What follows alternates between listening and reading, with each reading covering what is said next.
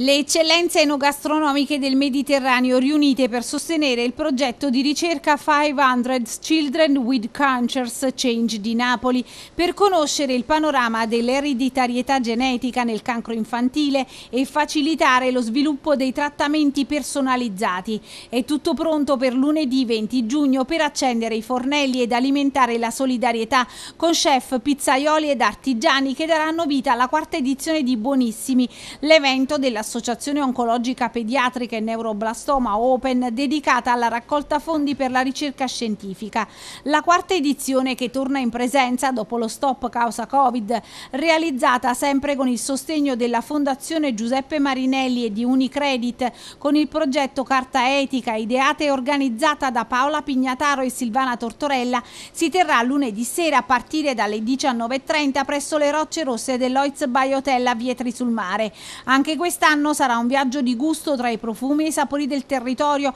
una festa in nome della vita che nel cibo trova nutrimento e attraverso il cibo dona speranza per un prestigioso appuntamento a fondo sociale.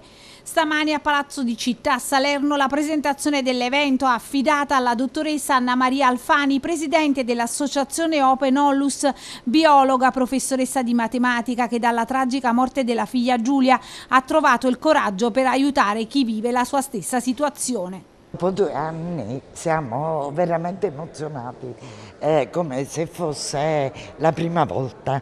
Eh, Quest'anno sosteniamo un importantissimo progetto di ricerca, eh, Chance, che mira a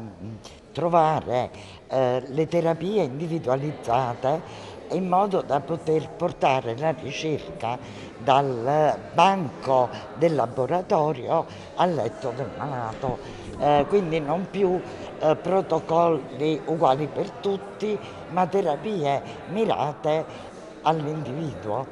Eh, quest'anno abbiamo avuto tantissimi sponsor che io ringrazio veramente con tutto il cuore eh, una partecipazione entusiasta da oltre 150 eh, tra, eh, tra, chef, ristoratori, pasticceri, pizzaioli, eh, insomma